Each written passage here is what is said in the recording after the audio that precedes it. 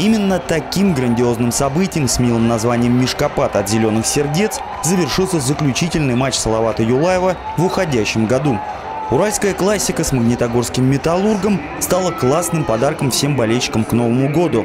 Брошенные на лед игрушки в концовке сделали наступающий праздник еще ближе, а хоккеистов зарядили положительной энергией на оставшуюся часть сезона.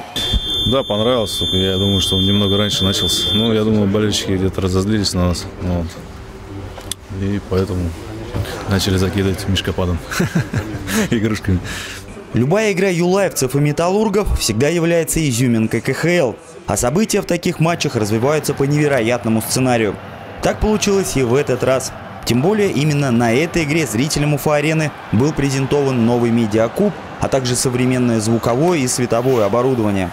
Ну а в фойе для болельщиков, как всегда, было организовано несколько десятков зон самых различных активностей – Наибольшей популярностью у зрителей пользовались новогодние развлечения, а соответствующий антураж дополняла новогодняя музыка.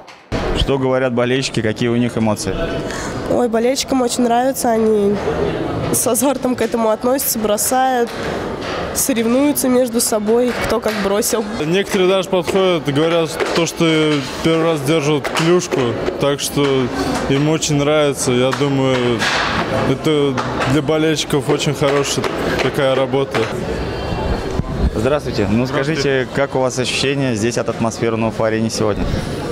Ну, я первый раз на самом деле. Мне очень понравилось. Достаточно доброжелательно, хочу сказать. Сегодня на Уфа-арене очень круто. Такой благотворительный матч. Мне это все нравится. Друзья, с наступающим вас Новым годом! Что касается самой встречи, то ее первая половина явно лучше удалась гостям.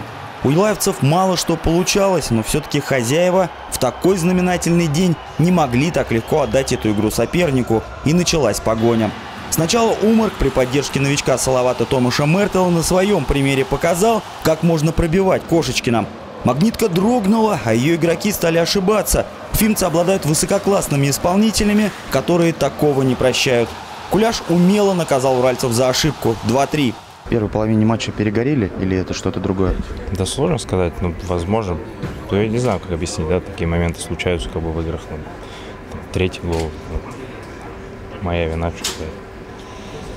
В третьем периоде игра юлаевцев засверкала новыми красками, и вскоре Уфа-арена утонула в овациях Хартиканину, который в большинстве затолкал шайбу с пятака 3-3. Сожалению, на этом успехи уфимцев и ограничились. Обидное поражение в концовке, и здесь впору сетовать на невезение. Поздравляем Металлург с победой. У нас, наоборот, безобразное начало. Потом смогли выровнять игру. Сравняли, э, сравняли счет, но, к сожалению, не обязательно четвертый гол. Привел к поражению. Новогоднее чудо практически случилось. Болельщики покидали трибуны, зараженные сумасшедшей энергетикой, и говорили своим любимцам спасибо за столь красивую игру, которая стала эффектным завершением 2016 года. Эдуард Хизбулин, Константин Данилов, хоккейный клуб «Салават Юлаев».